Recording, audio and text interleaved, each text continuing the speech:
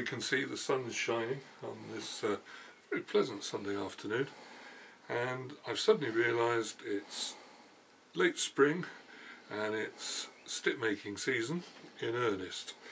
Um, there's a horticultural gardens Aberglasney uh, a lot of people have heard of it. It's one of our biggest uh, tourist uh, attractions in uh, south uh, West Wales.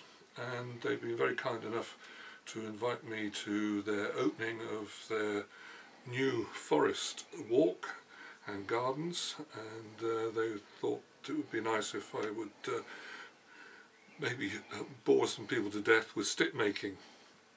So what I thought uh, would be very nice for them, that, that is uh, Aberglasney, is the fact that I was very fortunate to uh, be offered and I've recently acquired quite a lot of wood that came from Aberglasney Gardens um, six years ago uh, when they were making what is called their yew tunnel. So anybody visiting the gardens uh, would be fascinated to see that. And the yew wood had to obviously be thinned out and another stick maker acquired the wood and unfortunately he never got round to using it because obviously you've got to leave it to air dry and uh, season.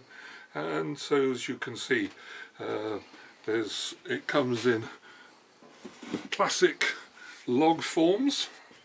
Um, actually recently been asked by somebody who said where'd you get your wood from? And I was very tempted to say trees but uh, that would be a, a bit grumpy. Um, so I thought might be interesting for those of you who are interested to see how the wood arrives. You've then got to use a myriad of tools uh, around. Uh, I don't have a bandsaw. That is one of the uh, uh probably uh, things on Santa's shopping list for me uh, to get a nice bandsaw. So it has to be done by hand, which means laboriously trimming down these logs um, there's one that, uh, as you can see, has been trimmed out earlier. And yew has this wonderful uh, heartwood, which is darker. Um, and then obviously you've got the uh, outer creamy wood. And it gives the wood a tremendous uh, patina and grain system and frankly is one of my most favourite woods. This is a stick that uh, I've just completed um, it's a turned out shepherd's crook um, and when it's uh, sanded and polished and uh, you bring up the grain. As you can see it produces this gorgeous uh, I suppose you could call it acorn brown and creamy colour and lovely uh, textures in the wood. So it is a, a, very very popular wood for uh, stick making. So there's a couple that uh, uh, or already ready to go as it were. So after you've mucked around with your wood, you would trying to uh, get blanks. Here's a blank which I've been experimenting with some shapes on just to see what I could make out of it. Um, this one actually, as you can see, hand sawing and following the grain uh, gives you some irregular shapes. It would have been ideal if that was flat. So this actually will probably be becoming uh, a butter knife. Uh, butter knives in yew are a, a, a long-standing tradition and are extremely attractive uh, uh, and look really brilliant on the table. And being a, a wonderful hardwood, dishwasher proof um, and will last years. So once I've got a blank sorted, and marked out then the next step is to cut it out and once you've cut it out um, I've got one here that's already been just roughed out. So that's just been roughed out with uh, uh, a hand saw and uh, you shape it around and get the approximate shape. And then you start with rough sanding uh, with heavy files and rasps uh, to make a shape. So if you see that that's coming on. And once I've got the shape formulated then I put a shaft in it already because that makes it much easier to obviously work uh, in your vices uh, but it also provides tremendous strength uh, when you, I mean that's embedded in there about the same depth. So when it's mounted into the shaft, that's why I describe my sticks as working sticks. I know these are going to uh, uh, certainly stand up to good use. So when you've roughed them out, the next stage up from that is some filing. Uh, so you've rasped it to those rough shapes and you can see all the knocks and knurls and gnarls in it that you've got to take out. And then with finer degrees of finer sanding, uh, not sanding, sorry, at this stage, with files, you then start making a shape. And when you make a shape, you've got to follow the grain of the wood because otherwise, unfortunately, you're going to get splits and sometimes you don't notice it until you've actually got to this stage and you've suddenly seen that you've you've missed the grain and you've got a, uh, a nasty fault in it and it's just no good. You've got to bin it and it becomes jewellery rather than uh, a stick handle because obviously it's not going to be load bearing. So when you've got it to that sort of shape and that sort of finish which is smooth and approximate to shape you then start with sanding. Uh, and as you sand into something, um, here's one that is rough shaped, but I've just started to brush it over with some sanding. And you can start to see how the wood darkens slightly and it also brings out the, the grain more positively. Um, that's going to be an otter. So it'll be a walking stick, uh, right-handed. I've made it for a right-handed person, assuming it will be. And uh, there's an otter. I've got a horrible feeling that my uh, otter carvings all look a bit like uh, a potato. But still, it's an otter potato. We'll, uh, we'll, we'll be happy to leave it at that. Um, these are the, all the different shapes that you take from the wood. But you, you, you the wood tells you what shapes to make. Um, here's some guidelines. You see, I was looking for how the wood uh, would run to uh, produce that. That gives it good strength that way and good strength that way. And is quite literally grew in the tree. Uh, in, in, sorry, it would be, that's right, it grew in the tree that shape uh, and with a branch that came out. So you always look for natural turns. Uh, just to show you what I mean by faults, uh, that if I was working on that, I would look for another piece of wood because as you sanded that down, that would probably run through as a fault and split. And why it would split is because at some time behind this was a, a twig had grown out and that had obviously affected the heartwood. Uh, the other thing you've got to look for is obviously splits. Um, this piece is, is going to become a, a, carving in fact I shall probably put a, a, a nice uh, wood spirit face on it because there are splits already showing in it and that wouldn't stand up uh, to stick making but will make a really gorgeous coloured uh, wood spirit. So having done that you then get into it with successive sandings. Um, here's one in that shape that I showed you and this has just been taken down to the ultra fine uh, uh, hand sanding material which is 600 grit. I use 600 grit. And then treble O steel wool uh, to just really give it the sort of final sheen. And as you can see although this has just been sanded there's absolutely no oil treatment on that.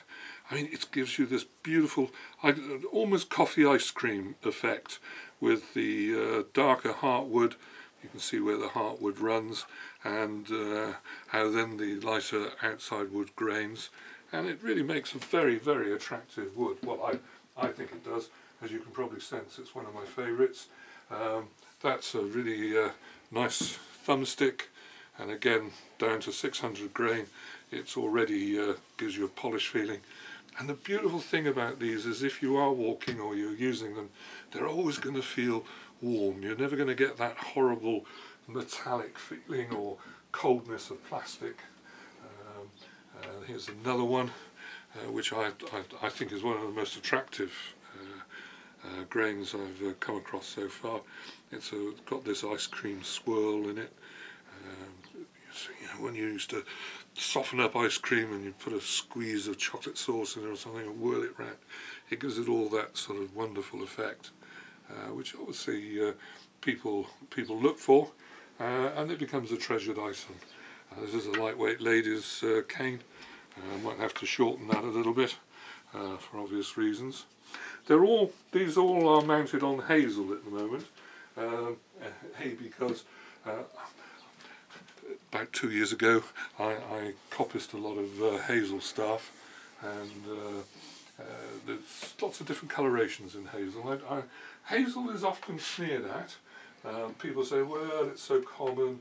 Uh, is it is it really uh, up to hardware? Well, it is. It's extremely flexible.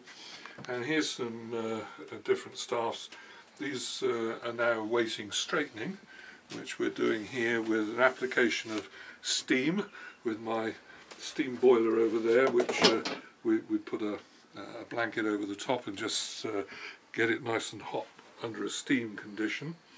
Um, and then trap it in this uh, vise here which is uh, just uh, an ordinary Black & Decker uh, workbench vise. And just by trapping it you can then start taking some of the big turns out of it. And then for final uh, taking out some of the small bends uh, a very trusty uh, heat gun. Uh, you've got to be extremely careful with the heat gun because you can only warm the wood to uh, almost too hot to touch. But if you go too heavy on it you'll damage the bark and it will actually singe and burn. But then by applying specific heat into a, a, shaped vise like this is, you can take out some of the more predominant uh, and prominent uh, sharper bends um, and it's then taken out the, the, the, really bad bend that was in there. Um, but still if you looked along it uh, like a gun sight you would see that there is still quite a big turn in this here. Now depending on the style of stick if it was going to be a hard working stick, uh, you know, for taking to the farmer's market, I may not be too uh, concerned about working that any finer because with all the uh, um, little twigs that have been taken off, that when that's polished uh, it'll look nice. But on the other hand, uh, when you get a big long bow in something like this, this is what you would take out with the steam uh, to get it straight and then that would leave a, a, little dog leg here which you would then take out with this uh, hardwood, it's a piece of oak uh, which is just cut to a, a, reciprocal shape and just by gently vicing it with heat you can take it out. Stick straightening for me is one of the most boring things on earth but it's just got to be done um, and it does produce nice results when you uh, really work at it um, and some of these uh, blackthorns, which I'll show you, which are highly prized and very difficult to find really to get a straight blackthorn uh, because obviously there is only so much bend you can take out. Um, that that I've worked on and worked on. There's a little bit more to do just in this this shape, but that that will make a very nice uh, thumbstick. Blackthorn, uh, treasured, and majority, as I've already said, are hazels. This mottling effect is when you get uh, lichen or lichen, whichever people like to describe it. If you remembered, I showed you uh, this type of growth. Um, this is what actually mottles the wood, and once you just knock off the uh, bark and allow it to polish up, it does produce a really uh, nice uh, motley shade whereas the blackthorn gives you this uh, like a vine. It, will open up and sort of make a, a nice wavy pattern in it. So as you can see lots to do and to be quite frank not uh, uh, not much more time. But again just to show you uh, this is the when it's been oiled because there's only oil there's not uh, any um, dyes or colorations in that. It's just plain two, two, two boiled linseed oil. As you can see it it does change the colour slightly obviously whoops yeah, it will do.